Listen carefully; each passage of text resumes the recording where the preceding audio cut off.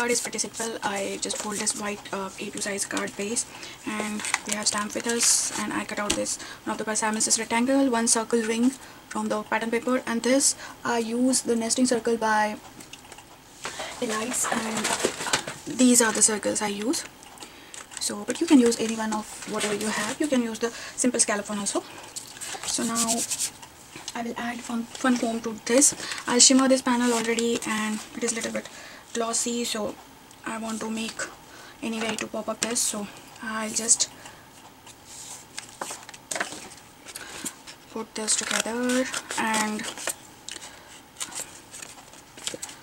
I'm planning to use uh, the leaves here to make the background and I just um, cut out the one circle shape here and I stick one white paper on it for stamping. And I didn't use the sentiment happy or atoms greeting yet. So I decided to use that.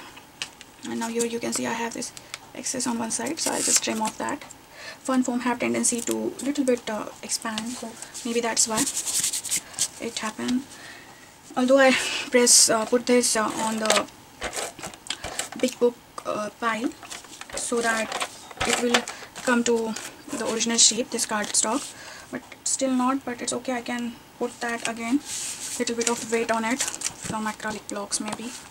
And then I'll keep this aside and for this ring I will just add the ring on this side. Now you can uh, use a sponge rubber or your small sponges to add a little bit ink here if you want to. But uh, just to get more dimension. But uh, you really want to make sure that you don't want to overpower it. Otherwise everything will be shaded and you will uh, lose the main focus here. Now for this you can add a little bit orange as it's orange color on it. So I'm using here carved pumpkin. Basically you can use any color um, whatever you have in hand. But I'm just mention, mentioning here what I'm using. And now you can see this emphasizes the circle but if I want to emphasize the the small doily kind of things then I have to just stamp those oh, sorry um, kind of ink those. Now I'll put a little bit of glossy accent all around this. Now you can watch that whenever I thought that it will pick out little bit glue outside and I don't want to mess up the project. I use glossy accent because it dries clear. So if it's little bit outside you're not you don't have to worry much because it will just dry clear. So I'll put this ring on this paper and for that again. Now you can see that it is little bit um, overhang. So while putting the glue on it you should remember that. Now you can use your glossy accent or this frame is quite big so I can use Tombow Mono glue also. And I'll just place this exactly in center. And after that I'll put that aside and place that block again. Now we are working with the main panel here I want this uh, main greeting. Uh, sometimes I lost the greetings. I don't know how. But anyway we'll go to the next part. These archival inks come with the kit and they come in two shades.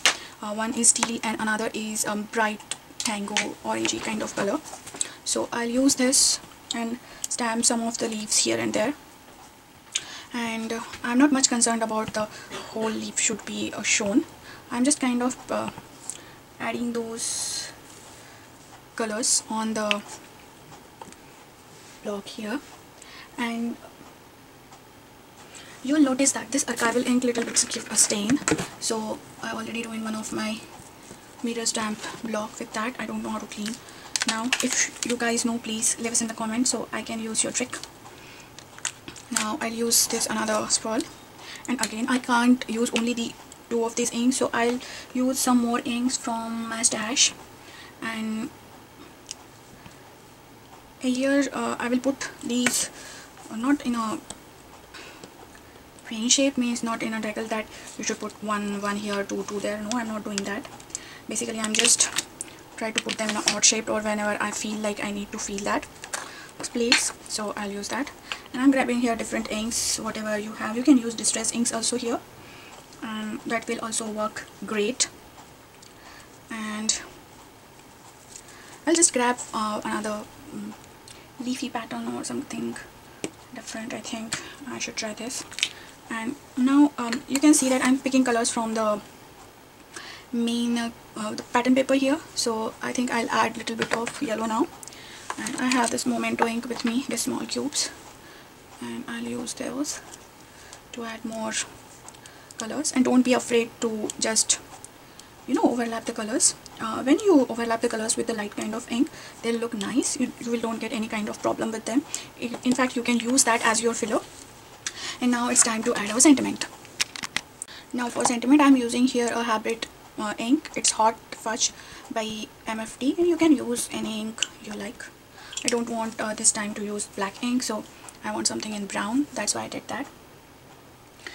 And then uh, again you can use here MISTI for the stamping and all but I I just grab whatever I have in my hand. And sometimes you want to stamp it again and again to get more crisp image and sometimes you know that it will work. Now uh, for the inside of the card I have this uh, kind of uh, papers scratch paper and it is the leftover of uh, the from the projects and I want to use every bit of it. So whenever I have the scratch kind of paper I don't throw it. I use that most of the times for the insides of the card. So now you can see uh, before putting this card here I didn't use any paper below the project so I just want to clean my mat because sometimes white card gets stains. I did cut out this paper I just cut out this paper from my stash again the kit is not come with everything because we are making more than the kit is offering us. So we have to use our stash here. And uh, maybe I'll make more cards rather than the 20 uh, and I'll use the again another supplies because maybe afterwards my pattern paper will uh, finish or something like that. So I'll just cut out trim off this excess. Now you can see this inside also kind of pretty and matching to the outside. Now I'll put little bit of glue here. I'm not using the tape. You can use tape also but sometimes I have a little bit problem with place, placing the things so that's why I just put this. Now again there are two options. You can put uh, this um, inside circle and then put this gridding on but I love to add uh, just on that so it will create the, another ring um, all over.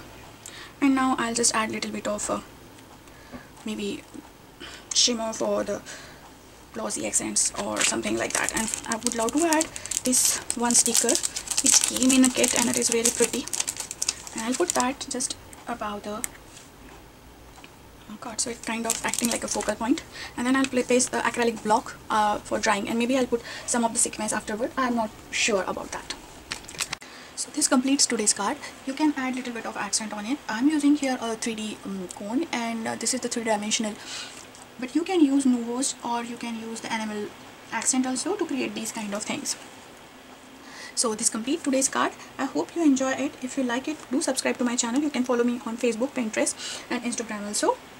And you can see another videos on the fall theme card. So until the next project have a crafty life. Bye bye